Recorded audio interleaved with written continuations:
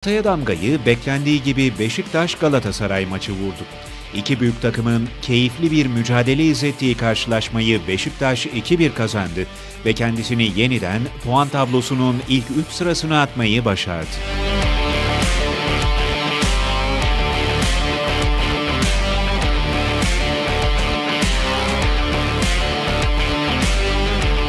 Bu galibiyetle Beşiktaş, Galatasaray karşısında kendi sahasındaki galibiyet serisini 5 maça çıkardı.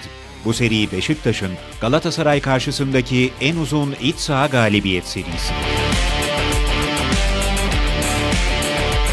Galatasaray ise ligde bu sezon deplasmanda geçen sezonun ikinci yarısındaki dikkat çekici performansından uzak. Ligde son 3 deplasman eşleşmesinin ikisini kaybeden Sarı Kırmızılılar aynı sayıda deplasman yenilgisini önceki 14 dış saha maçında almıştı.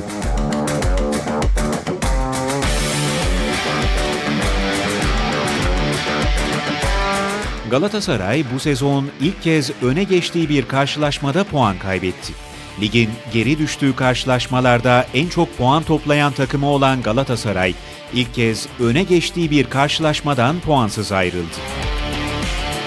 Galatasaray'la ilginç bir notta bu maçtan sonra takımın aynı zamanda öne geçtiği maçlarda en çok puan kaybeden ekiplerin arasında da yer alması.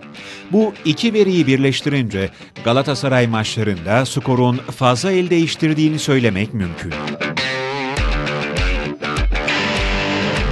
Galatasaray'ın bu karşılaşmadan puan çıkarmak için ayağına fırsat da geldi.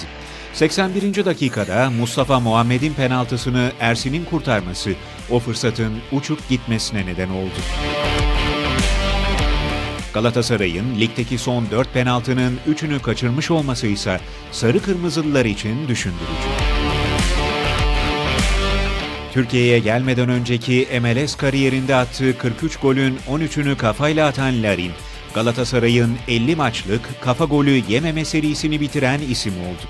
En son Temmuz 2020'de Stefano Napoleoni'den kafa golü yiyen Galatasaray, Süper Lig kariyerindeki 27 golün altısını kafayla atan Larin'in kafa vuruşundan gol yiyerek bu alandaki enteresan serisinin de sonunu görmüş oldu.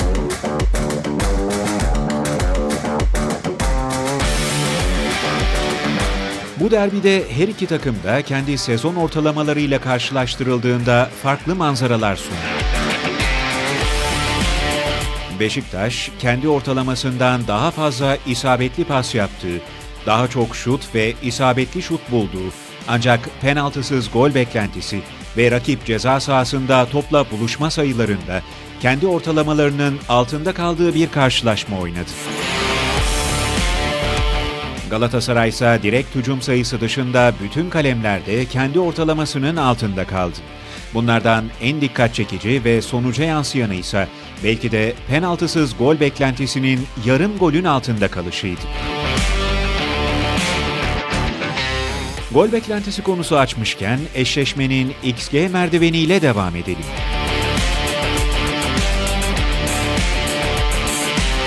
İlk şutunu 22. dakikada bulabilen Galatasaray, 3. şutunda golü de atan taraf olmasına rağmen maçın hiçbir bölümünde XG açısından Beşiktaş'a üstünlük sağlayamadı.